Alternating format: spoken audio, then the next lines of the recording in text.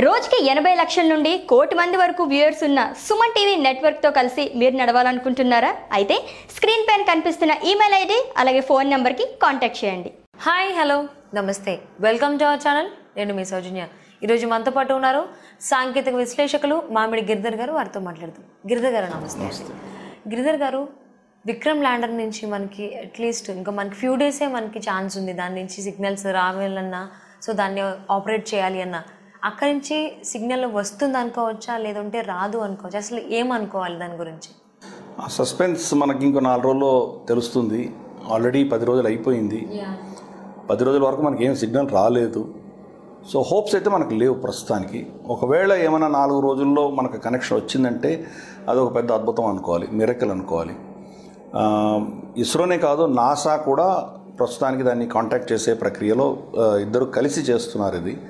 నాసాకి సంబంధించిన ఒకటి రెండు ఇన్స్ట్రుమెంట్స్ కూడా దాంట్లో పెట్టడం జరిగింది.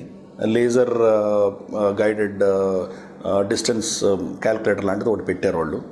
సో ఆ లేజర్ బీమ్స్ తోటి అదే డిస్టెన్స్ని అక్కడ ఉన్న టపోగ్రఫీని రీడ్ చేయగలిగినటువంటి ఒక ఇన్స్ట్రుమెంట్ దాని కింద పెట్టారు. సో వాళ్ళ కనెక్టివిటీ కూడా దాంట్లో ఉంటుంది. దాంట్లో చిప్స్ పెడతారు కాబట్టి కనెక్టివిటీ ఉంటుంది వాళ్ళకి. వాళ్ళు కూడా ప్రయత్నం చేస్తున్నారు.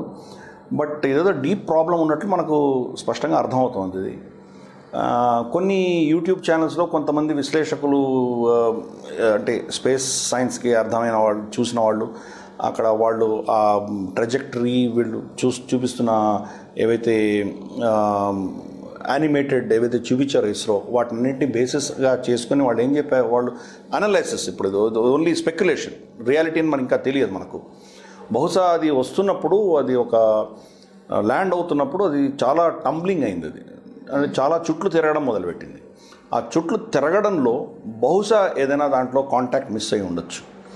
అంటే కమ్యూనికేషన్కి మీ బేసిక్గా ఇప్పుడు అంతా ఎలక్ట్రానిక్ కమ్యూనికేషన్ ఇదివరకు వైర్స్ అవన్నీ ఉండేవి ఇప్పుడు అలా కాకుండా ఇప్పుడు ఎలక్ట్రానిక్ దానికి చిప్స్ ఉంటాయి.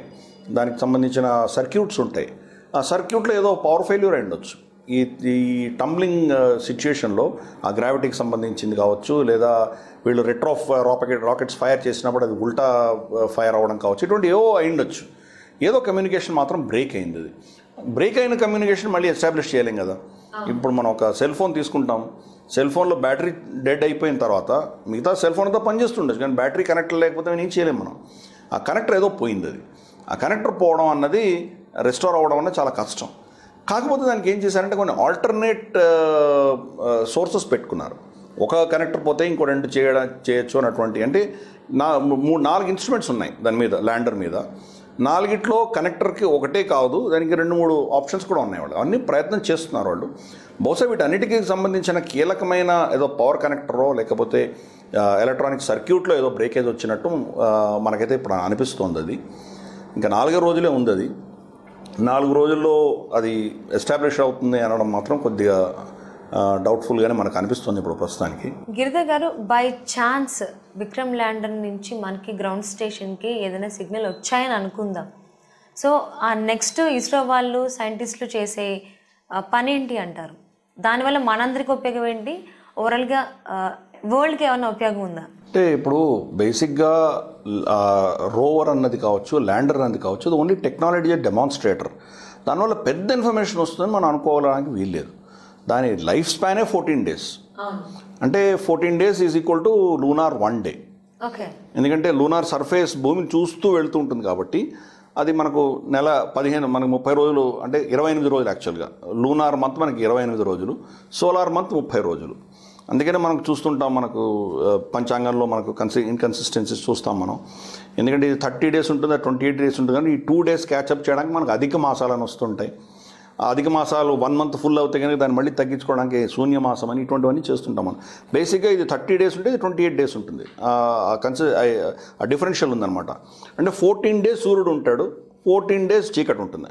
ఒక సర్ఫేస్ దాంట్లో చంద్రుడి సర్ఫేస్లో సో అది ఒకసారి చీకటి అయిపోయిందంటే కనుక ఆ చలికి అంటే భూమి మీద లేనంత చలి ఉంటుంది అక్కడ మనకి అట్మాస్ఫియర్ ఉంది కాబట్టి కొద్దిగా హీట్ గ్యాసెస్ uh, ఉంటుంది కాబట్టి మన గ్రీన్ హౌస్ ఎఫెక్ట్ ఉంటుంది కాబట్టి ఎంత సోలార్ పోలార్ క్యాప్స్లో వెళ్ళినా కానీ కూడా అక్కడ చలి అన్నది చంద్రుడు కావచ్చు ఇటువంటి మిగతా గ్రహాలు ఎక్కడైతే అట్మాస్ఫియర్ లేని ఉన్నాయో అక్కడికంటే మనకు కొంచెం చలి తక్కువ ఉంటుంది మనకి.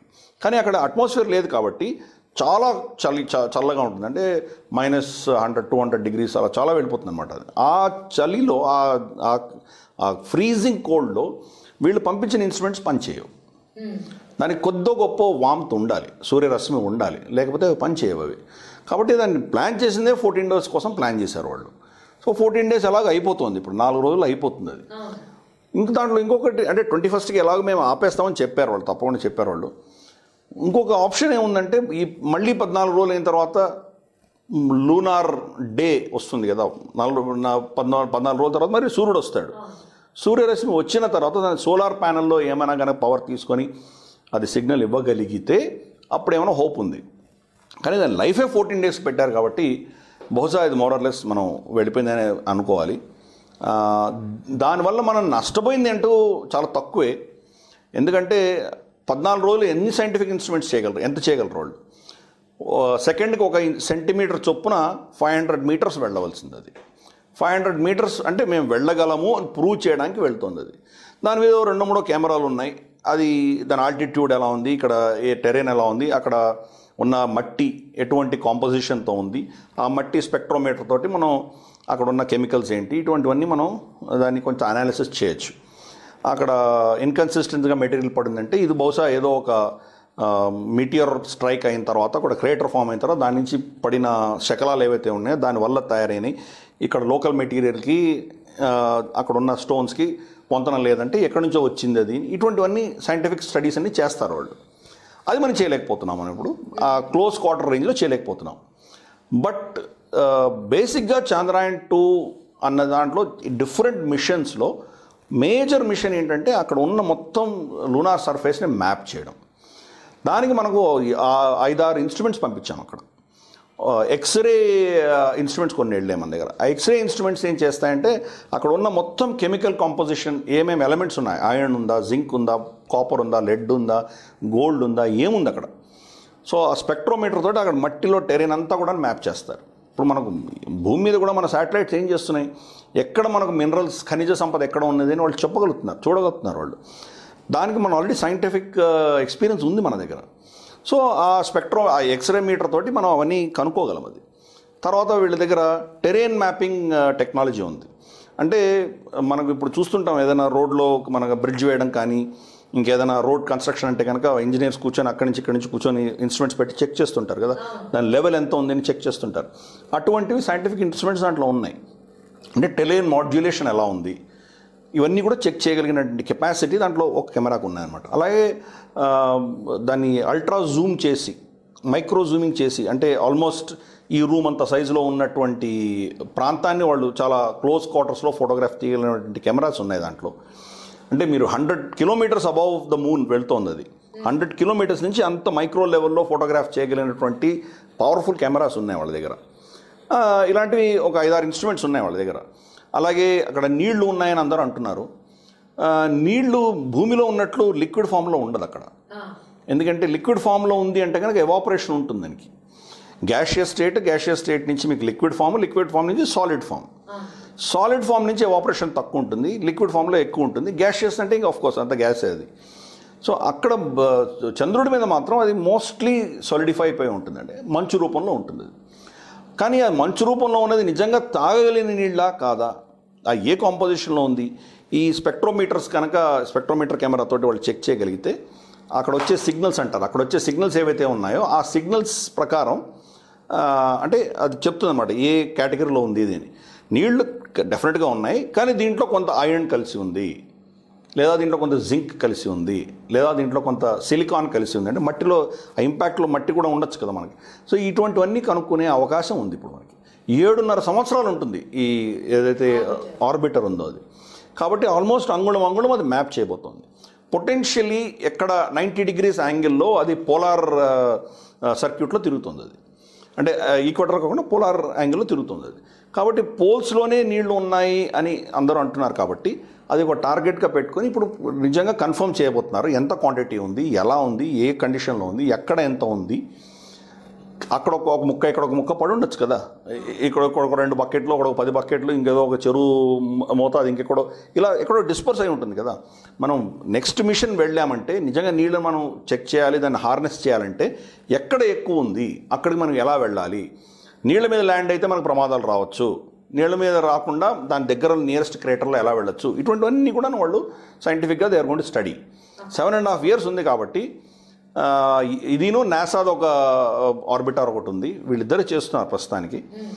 కాబట్టి మనకు పోల్స్కి సంబంధించిన డేటా ఇక అక్కడ ఉన్న కెమెరాస్ వల్ల మనకు చాలా సిగ్నిఫికెంట్ ఇన్ఫర్మేషన్ రాబోతోంది మనకి. ఒక టెక్నాలజీ డెమాన్స్ట్రేట్లో లాస్ట్ బిట్లో కొంత ఫెయిల్ అయ్యాం మనం. So one percent or two percent failure అని చెప్పొచ్చు. సో ప్రజలు మీరు అడిగిన ప్రశ్నకి ప్రజలకి ఏంటి ఉపయోగం అంటే ప్రజలకి ఇది ఉపయోగం. చంద్రుడి గురించి మనం అధ్యయనం చేయడం వల్ల అక్కడ ఉన్న కెమికల్ కాంపోజిషన్ వల్ల రేపు మానవాళికి ఏమైనా ఉపయోగపడుతుందా? ఫర్ ఇన్స్టెన్స్ రేర్ కెమికల్స్ ఉండొచ్చు. రేర్ మనకు ఉన్న ఎలిమెంట్స్ ఏవైతే ఉన్నాయో కొన్ని మెడికల్ ఫీల్డ్లో వాడుకుంటాం మనం. మనకు కార్బేడియం కార్బోడియం అని ఇట్లాంటి చాలా చాలా చాలా రేర్ ఎలిమెంట్స్ ఉన్నాయి. అంటే చాలా తక్కువ ఉంటుంది. Almost zero point zero zero one percent ఉంటుంది మన భూమిలోనే. దొరకడం చాలా కష్టం. అటువంటివన్నీ మన ఫ- కార్బన్ ఫైబర్ అంటాం మనం ఇటువంటి చేస్తుంటాం. మెడికల్ ఫీల్డ్లో దాన్ని బాగా వాడతారు అవి.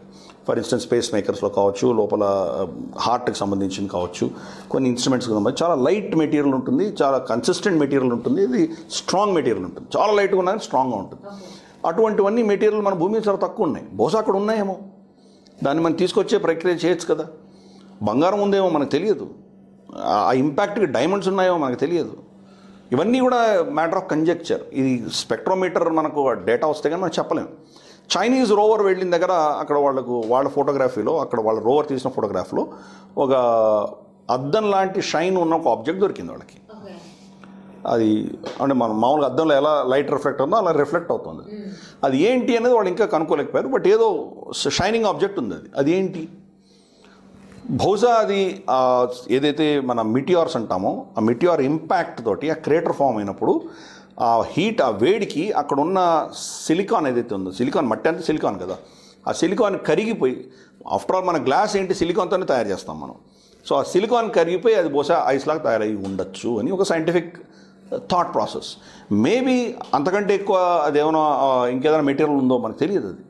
సో ఇటువంటివన్నీ కూడాను మానవాళికి తెలియని ప్రశ్నలన్నీ ఇప్పుడు మనకు కొన్ని సమాధానాలు రావడం మొదలు పెడతాయి. దానివల్ల మనం ఏం చేయగలం? ఫ్యూచర్లో ఏం చేయాలి? ఎటువంటి ప్లాన్స్ వేయాలి? బహుశా నెక్స్ట్ వెళ్ళే మిషన్స్ ఐదేళ్ళకో ఆరేళ్ళకో ఈ టెక్నాలజీ ఇప్పుడు మనకు వచ్చిన ఇన్ఫర్మేషన్ ప్రకారం అక్కడ బహుశా మనం మైనింగ్ చేసే ఎటువంటి శాటిలైట్స్ పంపించవచ్చు మనం. పలానా దగ్గర మనకు రేర్ అర్త్ ఉన్నాయి యురేనియం ఉంది ప్లూటోనియం ఉంది ఇంకేదో ఉంది. దాన్ని తీసుకొని వచ్చే ప్రక్రియ చేయొచ్చు మనం. రైట్ ఇందాక నేను అన్నట్టు బహుశా ఏదో డైమండ్స్ ఉండొచ్చు గోల్డ్ ఉండొచ్చు మనకు తెలియదు. ఏం ఉన్నాయి అక్కడ అన్నది తెలుసుకునే ప్రయత్నం మనం చేస్తున్నాం. సో అంటే విక్రమ్ ల్యాండర్ అక్కడ రోవర్ని కనుక ఆ చంద్రుడి సర్ఫేస్ మీద వదిలిపెడితే అక్కడ ఎన్ని మినరల్స్ ఉన్నాయి ఎటువంటి డైమండ్స్ కావచ్చు లేదంటే ఏ సర్ఫేసెస్ ఆ చంద్రుడి లోపల ఉన్నాయని చెప్పేసి మనం తెలుసుకోవచ్చు. అదే పని మనకి ఈ రోవర్ వల్ల ఆర్బిటర్ వల్ల కుదరదంటారా? ఆర్బిటర్ వల్లే చేస్తున్నాం మనం. రోవర్ వల్ల అవ్వట్లేదు. రోవర్ వల్ల అసలు రోవర్ అది పనే కాదు. ఫైవ్ హండ్రెడ్ మీటర్స్ ఎంత కనుక్కోగలం మనం? Okay okay. ఇప్పుడు భూమి మీద కూడా బంగారం అన్నది కొంత ప్రాంతాల్లో ఉంటుంది. డైమండ్స్ అనేది కొంత ప్రాంతాల్లో ఉంటాయి. ఫర్ ఇన్స్టెన్స్ మనకు భారతదేశంలో కోలార్ గోల్డ్ ఫీల్డ్స్ ఉన్నాయి. సపోజ్ భూమే చంద్రుడు అనుకుందాం కాసేపు. ఈ రోవర్ వచ్చి కోలార్లో దిగితే ఇక్కడ బంగారం ఉందని చెప్పగలదు. ఎందుకంటే ఫైవ్ హండ్రెడ్ మీటర్స్. ఇదే రోవర్ తీసుకెళ్ళి మనం థార్ డెజర్ట్లో దింపామంటే అక్కడ ఇసుక తప్పితే ఏమి ఉండదు అక్కడ. సో దానికి ఏం కనిపిస్తుంది ఇప్పుడు? ఇసుక తప్పితే కనిపించదు. సో అక్కడ అది వెళ్ళి ఐదు వందల మీటర్లో ఏముందో అది మాత్రమే చెప్పగలదు. ఏది? మన రోవర్. కానీ ఈ ఆర్బిటర్ ఏదైతే ఉందో మొత్తం చంద్రుడిని మ్యాప్ చేస్తోంది కాబట్టి అది ఇచ్చే డేటా చాలా సిగ్నిఫికెంట్ చాలా ఎక్కువ డేటా మన దగ్గర రాబోతోంది. ఇది చాలా తక్కువ డేటా.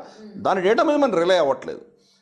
టెక్నాలజీ అంటే దానిలో ఉన్న సెన్సర్స్ కావచ్చు దాంట్లో ఉన్న లేజర్ గైడెడ్ టెక్నాలజీ కావచ్చు దాంట్లో కెమెరాస్ పట్టి అది ఎలివేషన్ చూసుకుని అంటే ఇప్పుడు ఫర్ ఇన్స్టెన్స్ ల్యాండ్ అవ్వబోతుంటే అక్కడ ఏదో రాయి ఉంది అక్కడ ఏదో ఎలివేషన్ ఉంది ట్వెల్వ్ ఇంచెస్ ఎలివేషన్ దాకా ఎలా ల్యాండ్ అవ్వగలదనే టెక్నాలజీ దాంట్లో పెట్టారు. సో అది చెక్ చేసుకుని ఒక కాలు దగ్గర ట్వెల్వ్ ఇంచెస్ ఉంది ఇంకో కాలు దగ్గర టూ ఇంచెస్ ఉంది. సో ఇక్కడ నేను ల్యాండ్ అవ్వకూడదు అని చెప్పి డ్రిఫ్ట్ అయ్యి ఇంకొంత ముందర వెళ్ళి చెక్ చేసుకొని సరే ఇది కన్సిస్టెంట్గా ఉంది అని చూసుకొని అక్కడ ల్యాండ్ అవుతుంది.